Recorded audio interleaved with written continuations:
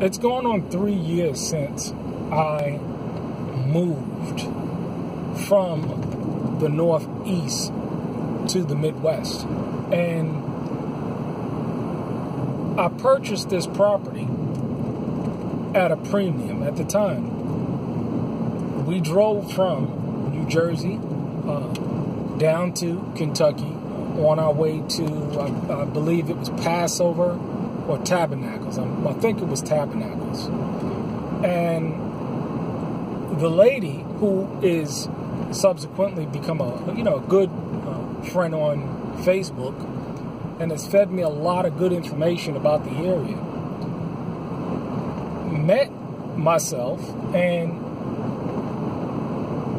she said, "You know what? I have three offers on the table, but I like your spirit. And if you make me an offer, I'll sell this property to you." So, of course, I gave her an offer of the purchase price, uh, which she requested for the land. And she accepted the offer. And I went ahead and did a one year owner finance. And the spirit came up on me, and I ended up paying off the property in six months. So I put a large chunk down. And, you know, just went ahead and and got the, uh, the, the deed, got the title, and you know I was off to the races from there. Since I have moved, the property values in this county, in this area, has damn near tripled. Meaning that if I wanted to sell this property, I can turn around and sell the property for more than twice than what I purchased it for. What's going on? What's going on? Well, in my opinion, what's going on is that there's a there's a real estate bubble across the board, and as you print more money in this debt-based fiat system, the value of everything uh, uh, goes down because it takes more dollars to purchase the same goods and services. So there's nothing that's really changed. I mean, I've done a lot of brush clearing out and improvements on the land. Uh, however, I've not done uh, twice the improvements in terms of the land uh, that I purchased the property for. So there's no real reason why the purchase price should have doubled. Uh, so there is uh, inflation in housing uh, we're seeing the inflation take place across the board. And I say all this to say that a lot of people have asked me, uh, you know, is there property in the area? Uh, and the answer is yes, but there's very few people. As a matter of fact, if there's anybody that I know that can come down and put $100,000 to purchase a property, there's very few people that have that kind of. I mean, uh, we see the statistics. We see that um, we have uh, 1.5 trillion in student debt. We have over a trillion in credit card debt, personal loan debt. Uh, we have, uh, I think, 30 trillion in, in, in mortgage debt. Because see, when you have a mortgage, you really don't own a home. You own a note for 30 years. And if you default on that Let's say you've been paying for that property for 29 years or 10 years and you got a 15 year mortgage and you default on that, that loan, you get nothing back. You get absolutely nothing back. They take your home, uh, you paid all of that money into it. Uh, this is why we say uh, go ahead and purchase a, a, a piece of land and develop it in time so that you don't have to worry about if a situation comes along in your life, you don't have to worry about being homeless because the land is paid for. Yeah, sure, you got to pay property taxes. You have to pay property taxes for the roads and things like that. And out in rural country land, property taxes are real cheap. I mean, I pay less than $500 a year in property taxes. So, you know, this is why we say don't get in a debt. Uh, and if you can, at best, do an owner finance. And still, you're going to be hit with the interest. I had to pay the interest uh, that she requested on the owner finance anyway, uh, on the amount that I did not put, uh, uh, that I did not pay completely. So if the property cost fifty thousand, I put down forty thousand. I still had to pay interest on the ten thousand. So this is, you know, and, and then in my area, you know, there was a lot of, of properties right next door to me. Uh, there's about three properties next door to me. One, the man ain't selling. Uh, he's not going to sell, and it's wooded. I mean, you would have to spend a tremendous amount of time, energy, and effort to clear out this wooded property. But he's not selling it. It's been in his family, and the guy I think lives in Milwaukee somewhere, Wisconsin somewhere. Uh, the property next door to that went uh, on sale twice. Uh, but now you had somebody come in and they purchased that property and the property next door to that property. And they were looking to purchase the property next door to me. Property, good property in a good location, and the cut is is going for a premium. And and and hey, you know, uh, you know, I even think if I wanted to sell my property to the people so that they can literally own the block. They'd buy it, and they're looking to buy, uh, build a nice big home on it. What do you think is going to happen to the property value that I have? It's going to go up, and it's already been going up. But if they put a nice uh, home on that property, uh, uh it's going to go up. And that is a property next door to me. Now, mind you, I can't see any of the homes because uh, you know, the properties are, are, are, so large and sectioned off in a way that, you know, you have your privacy. I mean, I can run down the entirety of my property butt naked uh, and nobody would see uh, me outside of the property or on the road. I mean, uh, you know, I have a long driveway. You know, I like the privacy. And uh, that's one of the good reasons why you're in a rural area and, you know, off of the back roads and stuff because you have that privacy. But you know, I say all this to say this again. You know, property values have increased so much that the average person cannot afford um, property in this day and age. And, you know, you have all of the debt.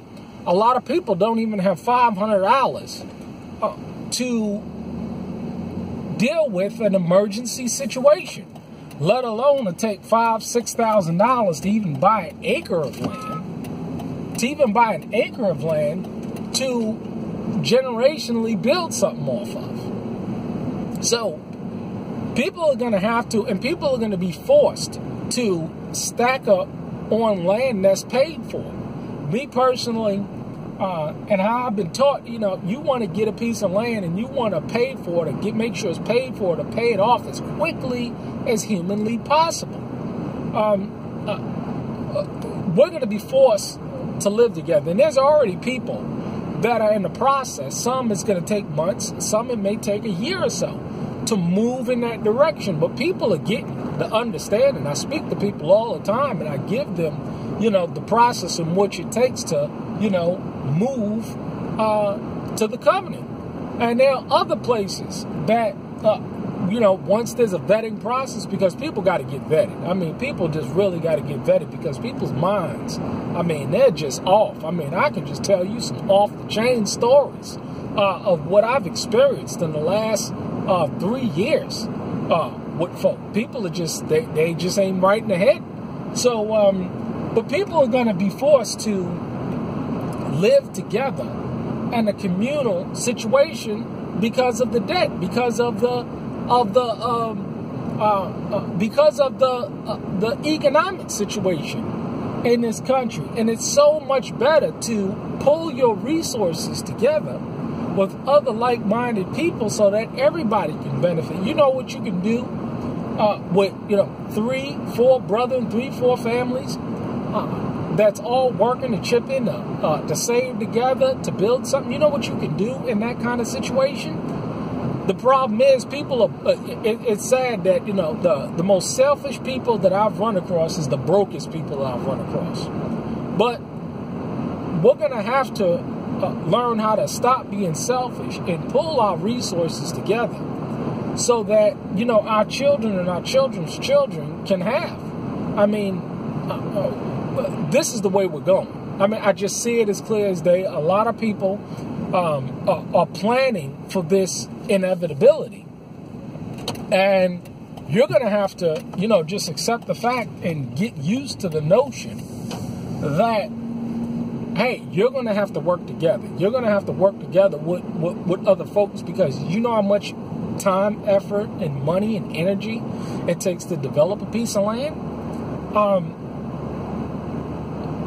you will fail as a rugged individual, but you will survive and thrive as a member of a tribe and community. And that's what we're trying to get, you know, uh, with RTA and a lot of other, uh, uh, uh you know, uh, not, I'm sorry, let me take that back.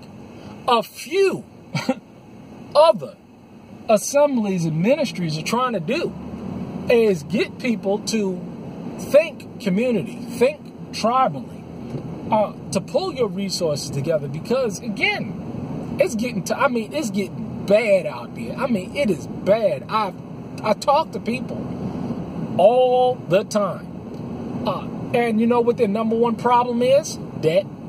Uh, they can't even pay the, the, the, bills because, you know, these loan sharks that they've gotten involved in, uh, the banks, the credit cards, uh, the student loans, uh, because, you know, you can't, you can't default on student loans. You can't default on student loans. Student loans are there, and there's nothing that you can do, uh, you know, to default on them damn things. You know, you gotta pay it. It's indentured servitude. You're in, you're an indentured slave at that point in time. Once you've taken out these loans for you know for worthless degrees that you can't even get a job in this economy. So, you know, and and, and this is months in the making. I, I meant to you know make this video but you're going to have to learn to pull your resources together, get with like minded people. And this is why it's good to, uh, you know, develop relationships, why this internet uh, is up, and why, uh, you know, because all this censorship on YouTube, all of these people getting kicked out of YouTube and Facebook and stuff, and, and Twitter and being banned and, and whatnot time is getting short. I mean, time has been short, but time is just getting exponentially shorter. So use this time to develop solid relationships with folks uh, that are doers, that are making things happen, and join a team. Join somebody that is doing something. If not, hey man, you going uh, uh, many of you suffering now. Many of you suffering now, but you know, uh, you know uh, th- we're such a stiff necked and stout hearted generation. I mean, what, what do you do? You know, uh, many of you, you know, a lot of people have already hit rock bottom. Hey, do what you may, do what you want. You know what I mean? Me personally, you know, we're, we're making moves, uh, you know, and I surround myself with people and, and, and, and submit myself to people that are making moves and that are making things happen and are giving good, sound uh, direction wisdom and guidance in what you need to do. So, uh, in conclusion, you know, again, I'll, you know, I'll say this, you know, develop some relationships, get around people that's doing something, uh, uh you know, to save yourself from this untorn generation. Uh, shalom.